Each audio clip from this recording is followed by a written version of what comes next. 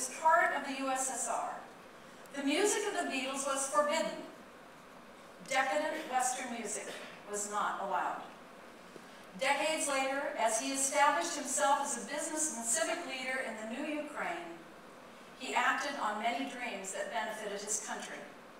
But he had never forgotten his dreams about the